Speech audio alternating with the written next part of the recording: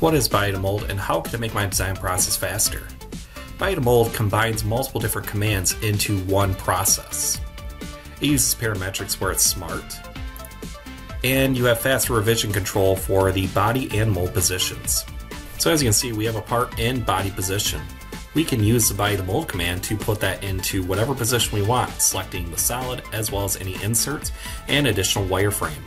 We can define our own work plane, use existing work planes as well. And as you can see, in whatever your mold position is, whether it's absolute or any other work planes, you can see how it creates that position. We can also apply a shrink value to this. So in the mold position, you'll see that shrink value automatically applied. We can set this to a uniform or non-uniform scale, and you can see how the sizes change as represented. We can also present a line or a cuboid for quick measurements of that shrink value, as well as draw a bounding box around this part too. Create as a solid, create as lines, and so on. So from here, we have our original part and we have our mold position part with the shrink added automatically. We can use simple commands such as translate or mirror where you can actually shift the part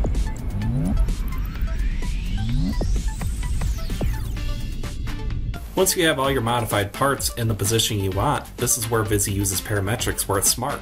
All of these parts have the same conditions. So for example, if you put this back into mold position or reset the scale of the part, you can see all these parts will have that body to mold linking to it. So for example, if I select this part, I can change the shrink of the part. It updates everything within the models.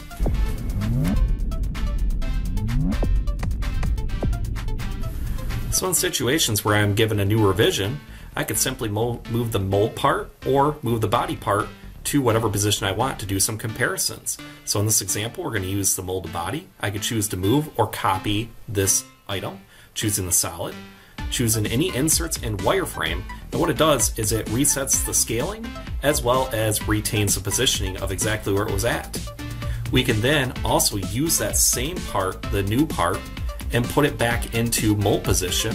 So as you can see, it puts that part into mold position and any change that you see, you can do the comparison in mold position rather than body position.